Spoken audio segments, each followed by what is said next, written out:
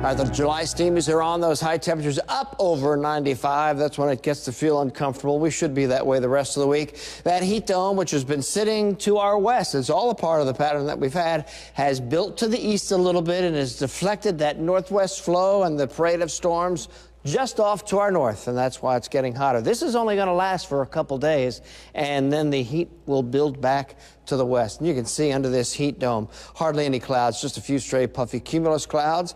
Temperatures from the Arklatex region all the way back into the southwest up over 100 degrees. Of course, New Mexico and Arizona, it's not unusual to see temperatures that hot this time of the year. Here's our area, and you can see just about everybody is in the middle 90s. Jackson's been up to around 96 or 97 so far today. That will continue.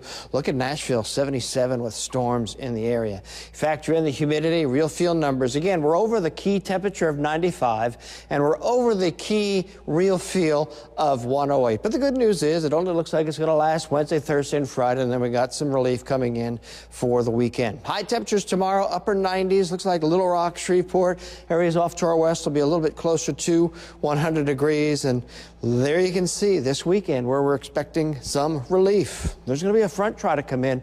And the, the payoff may be that there'll be some scattered storms. Nonetheless, it is relief. All right, look at the severe thunderstorm watches from Kentucky, Alabama, uh, northern Alabama, right through Tennessee. Again, that's that high pressure is built in and it's deflected that storm track just off to our north. Next several days, we're under the influence of the heat dome, but by the weekend, it moves off to the west, allowing this front to come down. The northwest flow strengthens with the heat and humidity building and maximizing over Thursday into Friday over the weekend. Yes, it's still going to be humid, but thunderstorms and clouds will lower the temperatures. No heat relief overnight, upper 70s. Tomorrow we're into the upper 90s once again. Steamy summery sunshine. Notice Saturday and Sunday, seasonal temperatures return. So, like the 4th of July, the heat only lasts a couple days.